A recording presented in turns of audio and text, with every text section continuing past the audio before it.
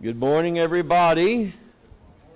Are y'all in your places with bright, pretty faces?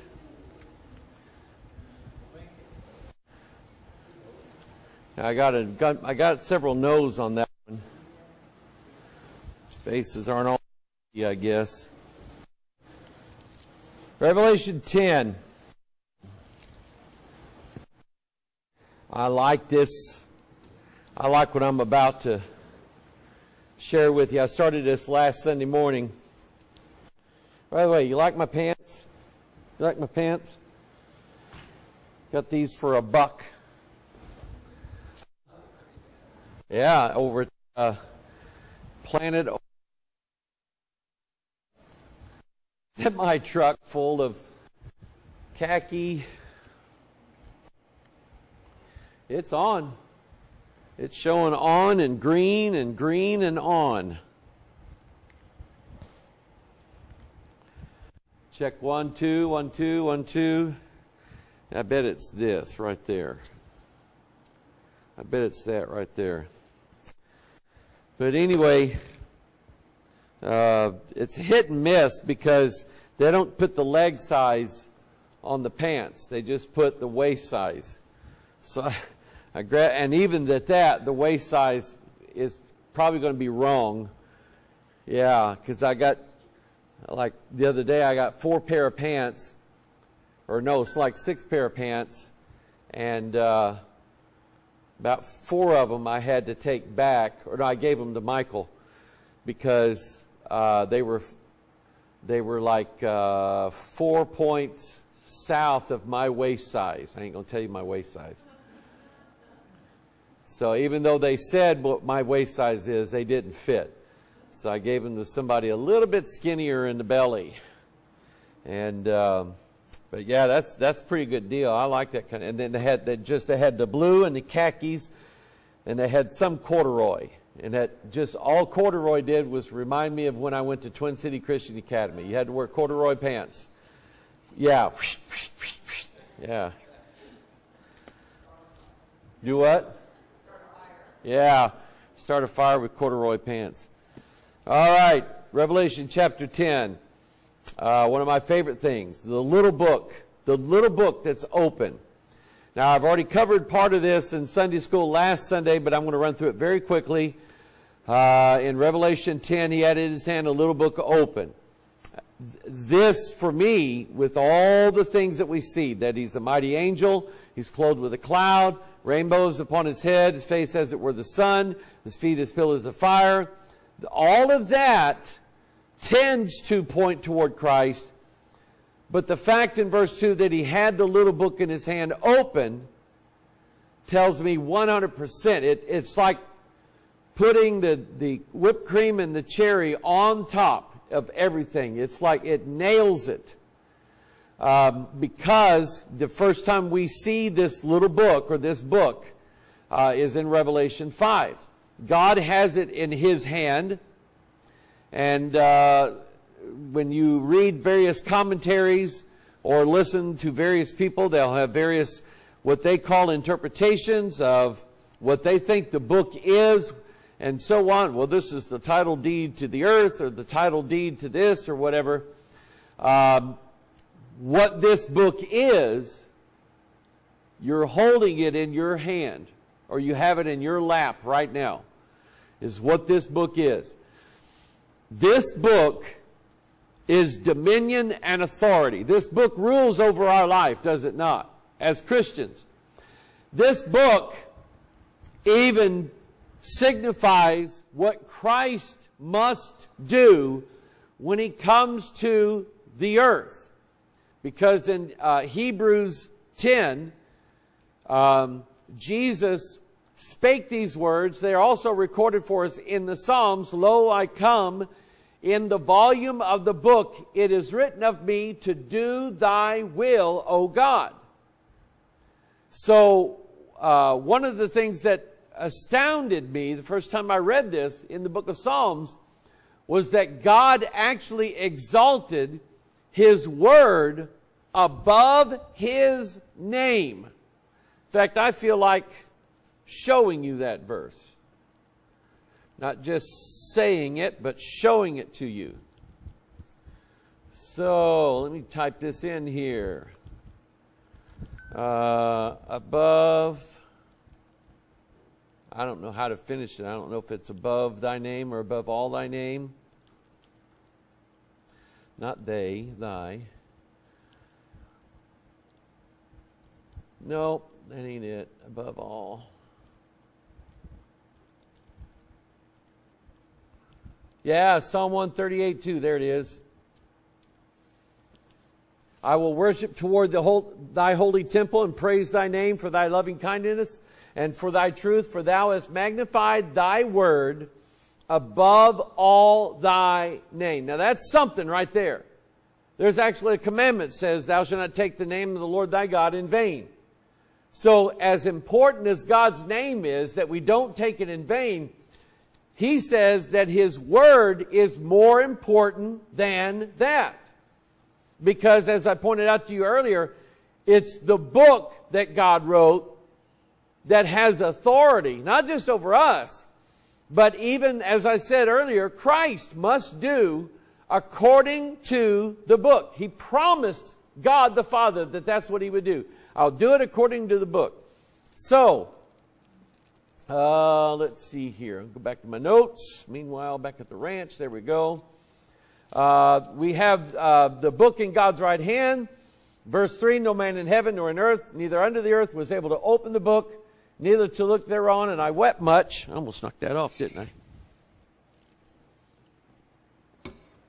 I wept much because there was no man found worthy to open and read the book, neither to look thereon. Uh, so then the, uh, the elders said, Weep not, behold, the lion of the tribe of Judah, the root of David, hath prevailed to open the book and to loose the seven seals thereof. So you have the book in God's right hand. And then in Revelation 6, you have Jesus opening the book. And then in Revelation 10, you have in this angel's hand the book opened. Okay? Now it's opened. Yes, sir.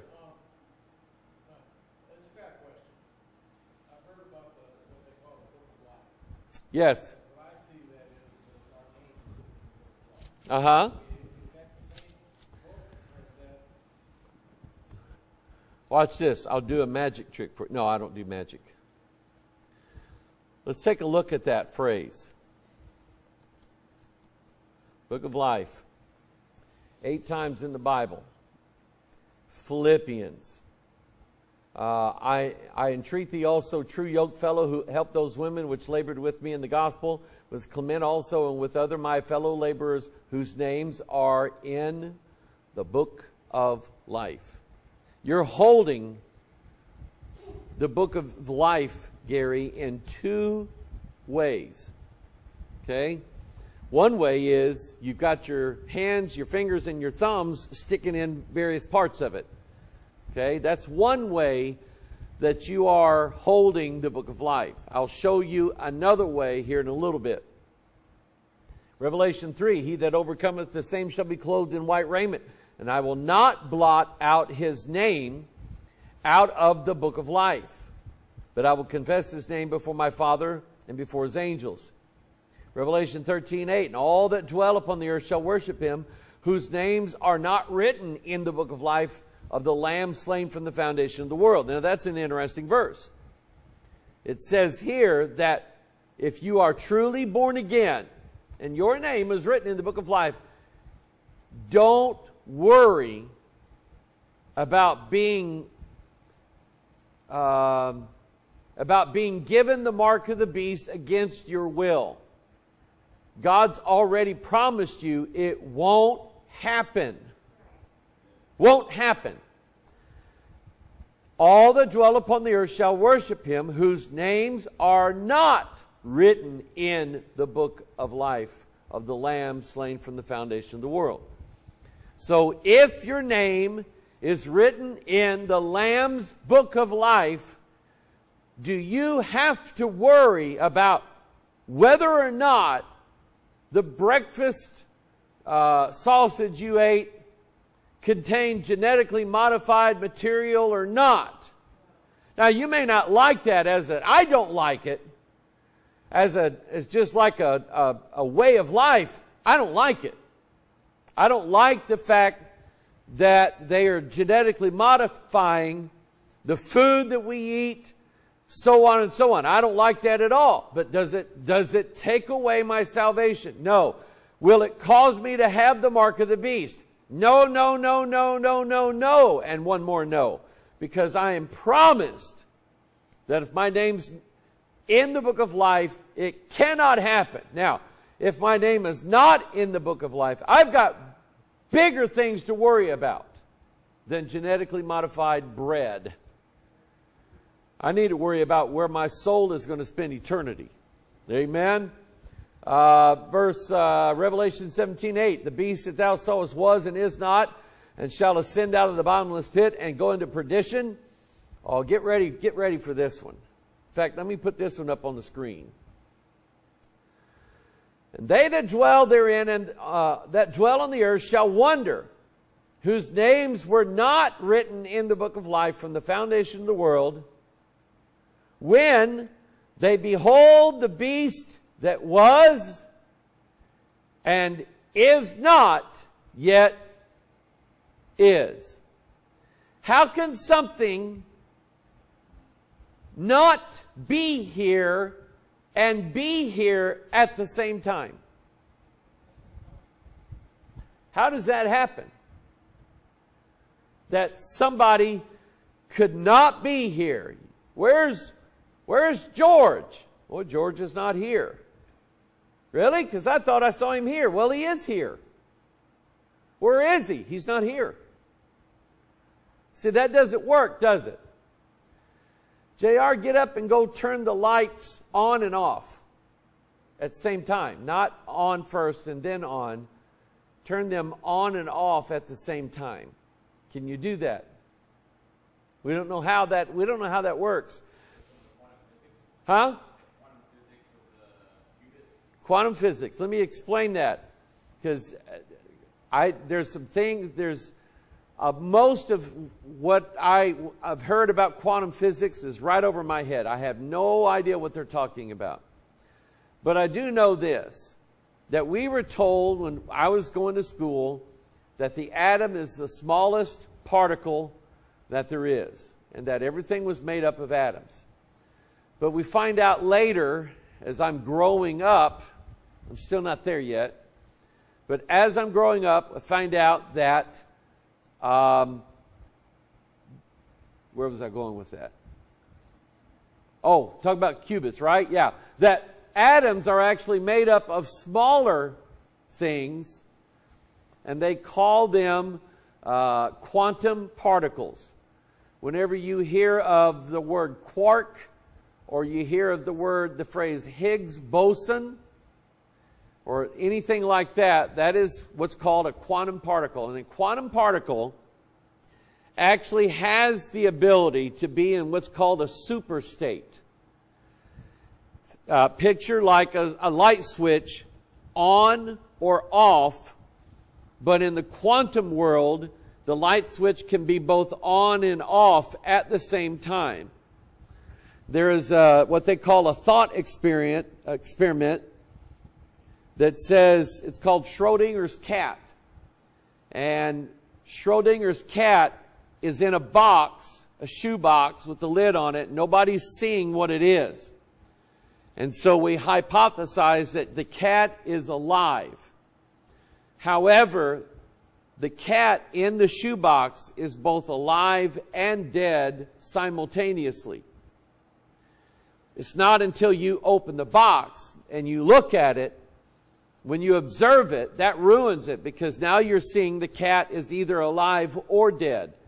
But if you're not observing it, and this is what I don't understand, it's both at the same time. And what you have, the, I, and I love the language of the King James. I think the King James has absolutely preserved this language for this very reason.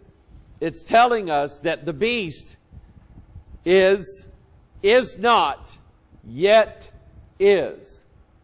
Simultaneously. When you hear of quantum computers, I wasn't going to talk about this. Thanks a lot, Dave. When you hear of quantum computers, in, a, in the computer that you have called your phone. Your phone's a computer. It's what it is.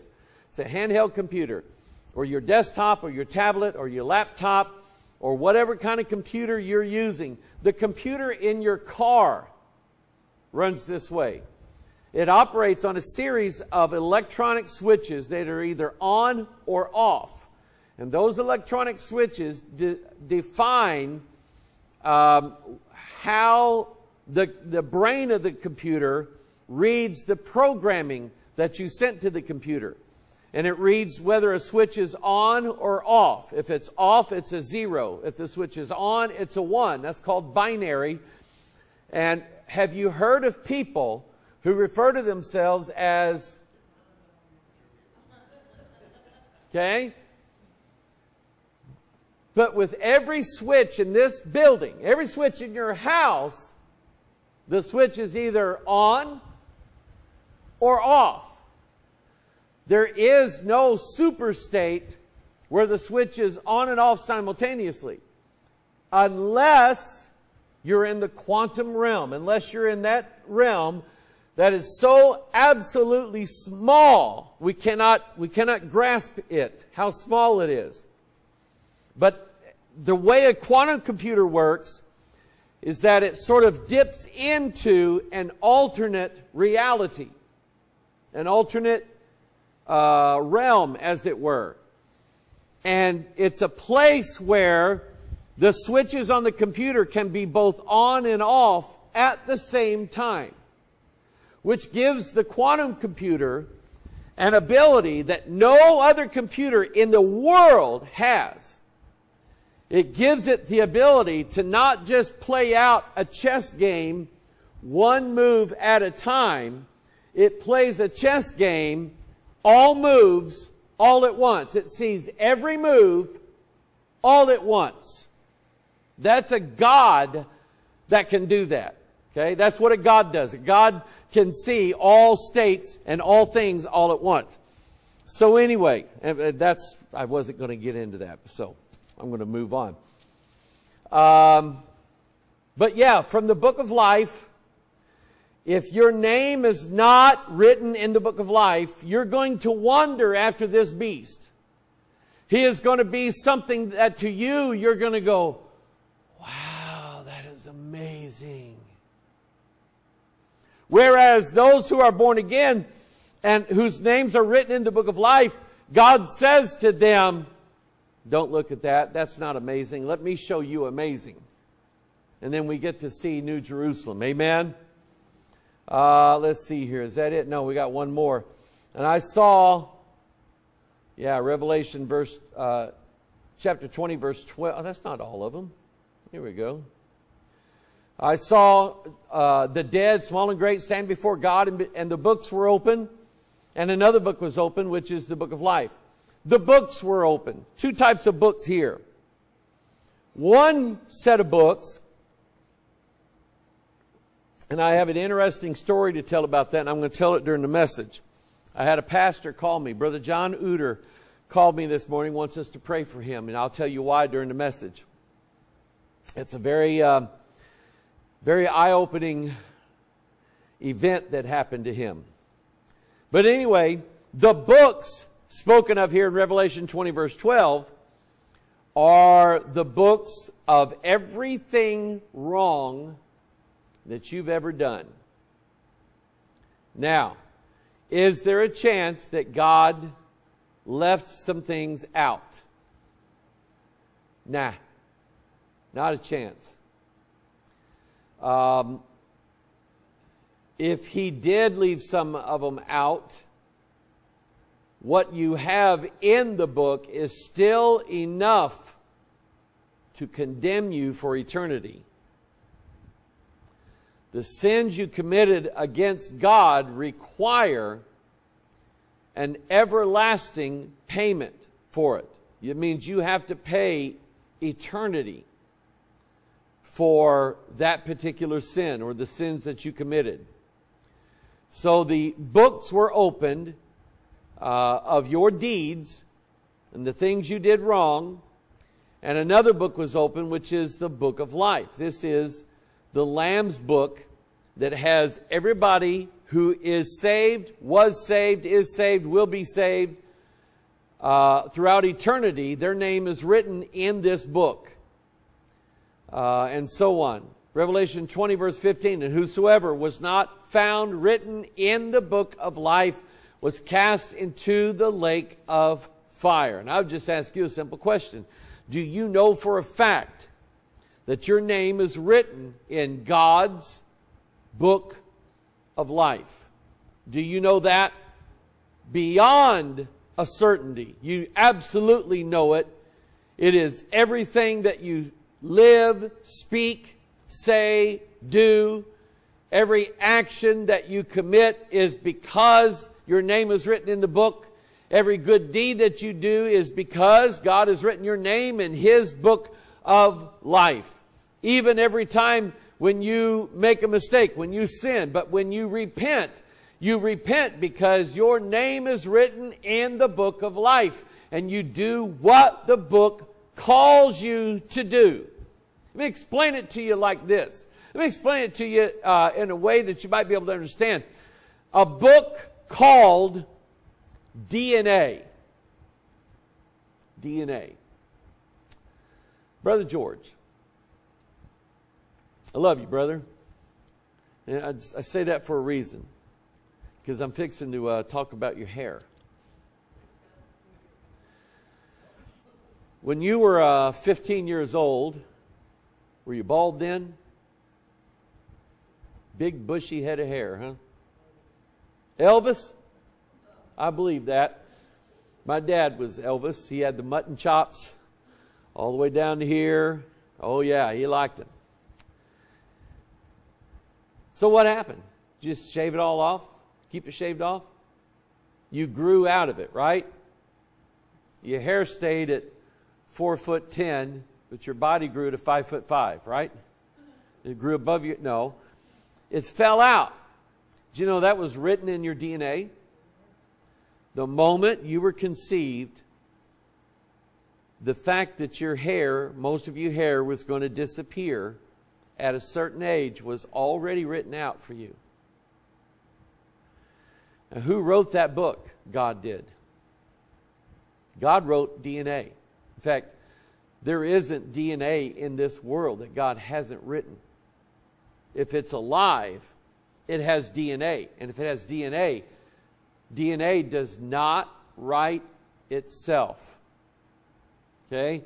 Which was sort of my theory in high school I always felt like the test answers would write themselves. And I didn't have to study. Right, Mom? I didn't have to study. So I wouldn't. Okay? Then I got into college and realized that they don't write themselves. I must take notes on this stuff. And what I'm getting to is, in fact, let's go ahead and do this. Let's go ahead and do this.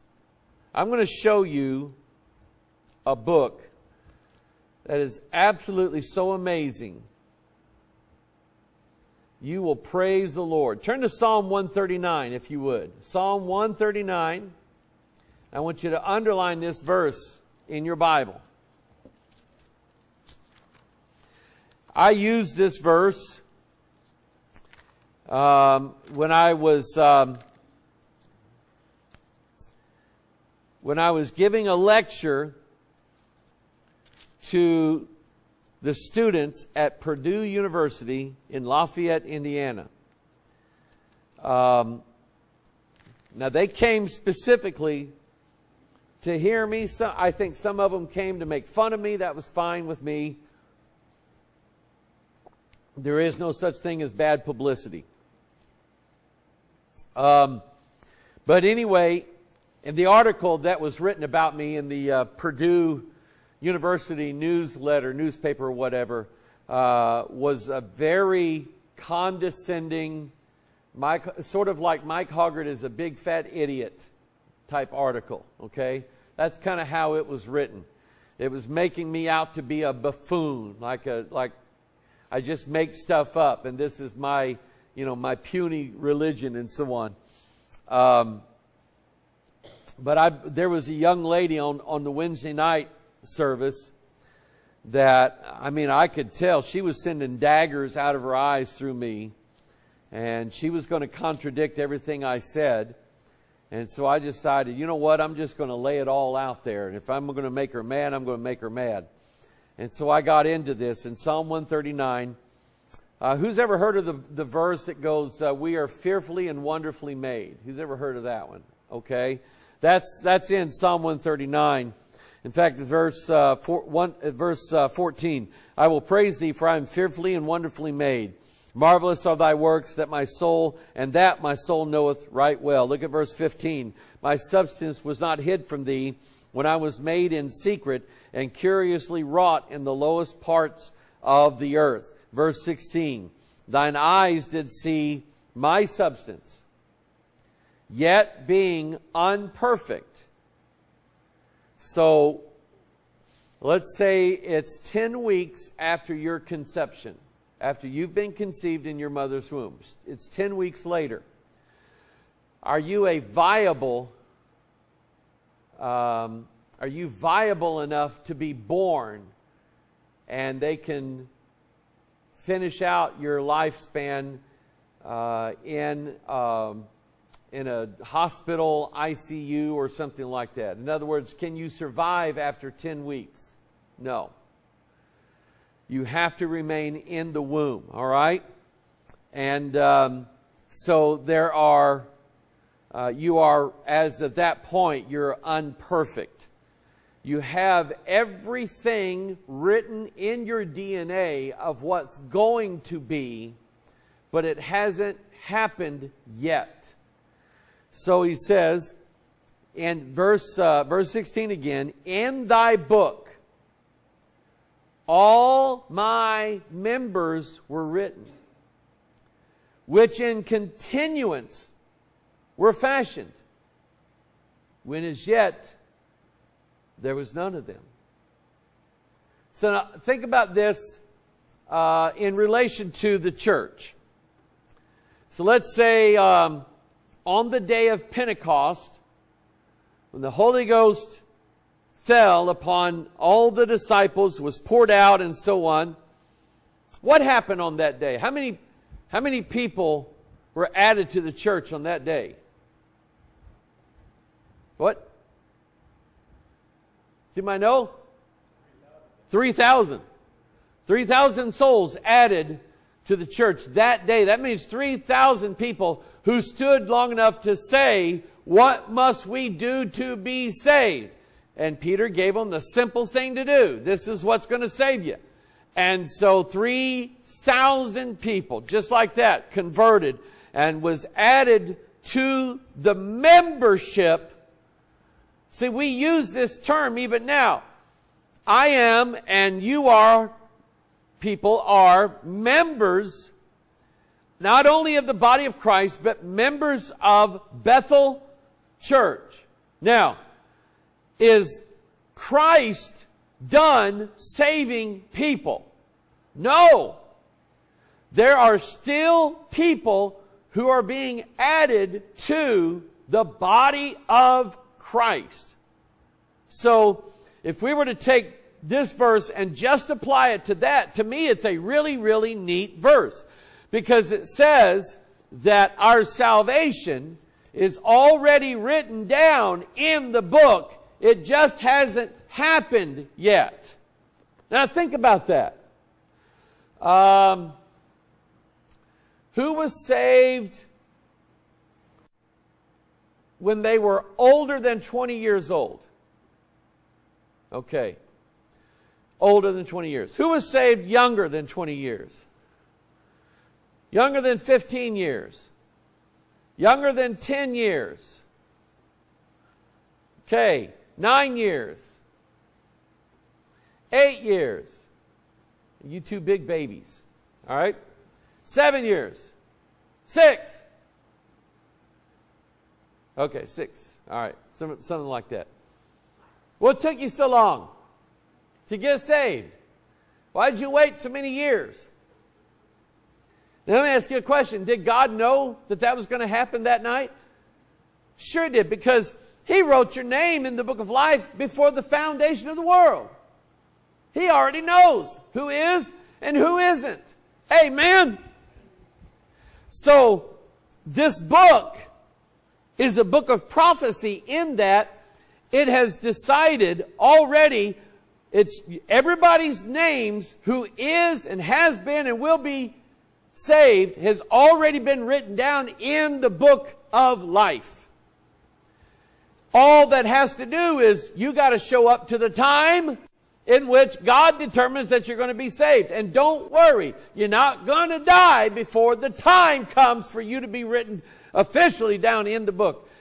You're going to make it there if that's God's will for your life, okay? And I know I'm getting into, uh, oh my goodness, predestination and all that stuff, and I'm not trying to confuse you. But anyway, now think about your physical body. For the first 10 weeks, do you have uh, arms and fingers and hands and do you have um, hair? After, after 10 weeks, you don't have any of that stuff. What's the matter with you? Okay? Why don't you grow some arms, some legs? Why don't you grow a heart? Your heart can start beating. Actually, by 10 weeks, there is a little bitty muscles in there that's pumping like this. And then after a while, starts developing into a heart. And here's what this verse is saying. It's a book of prophecy. It's saying, like in the church, it's already written who's going to be saved. And I believe that God will draw us as Bible believers or use the messages that we put online or whatever. I believe God will draw uh, a person's mind, their heart, and their attention to maybe a particular church that, that they're supposed to follow or become a member in or whatever. And those people are saved. And then uh, now that they're saved, they have fulfilled what already has been written out for them. They, they've now become a member of the body of Christ. Similar to your body. As your body grew inside your mother's womb, you grew fingers and arms and legs and used to have a tail and that kind of fell off and you grew a big head and you, you grew a heart and all those things. And all those things kept forming and kept forming and kept forming all the way until it was time for you to be born. I'll just ask you a, a very simple question. Was that baby alive at conception? Was it its own unique individual? Yes. And I'll tell you why. Uh, when people say, well, that's my body and I have a right to do with my body what I want to do. Okay, you do. You have a right to do to your physical body whatever you want to do. But here's the problem. That, that child in you, that unborn child, and I don't care how old it is, the moment of conception is enough. Now that child has a completely different set of DNA than the mother does. It is its own unique human being. Nobody else. What we use DNA now in courtrooms, don't we? Why? Because it is a, a, a nearly 100% way to identify whether someone was at such and such crime scene. In other words, if um, let's say they had some crime scene, some murder scene there, and uh, somebody said, "Well, I saw I saw Chris leaving that house, you know, just shortly after that was done." And Chris says, "I was never in that house. I've never been in that house ever." And the police go in and they find Chris's DNA all over the house. Chris been in that house. It's an absolute. It's an identifier. That's it. You're it. Okay? And that's what I'm getting across. That baby that's inside a woman is not part of the woman's body. It has its own unique uh, set of DNA pairs, DNA double helix, uh, the 46 chromosomes that DNA is stored up in. It has its own unique genetic identity, which to me says the only person who has a right over that body is the person who owns the body. Amen. Amen. Let's go to prayer. Father, we ask your blessings on this word. Father, we thank you for uh, opening up our eyes. Help us, Lord, all to, to know the book, to study the book, to want the book to be manifested in us. Father, I believe that the days that are ahead of us are better than the days behind us. I believe that. And Father, I pray, God, that you would uh, bring all of those who are to be yours into the book of life to be ready on that day to see your glory, to see you magnified and honored far above your name on that day. Lord Jesus, magnify your word even above your name. We pray this in Jesus' name. And all of God's people said, Amen.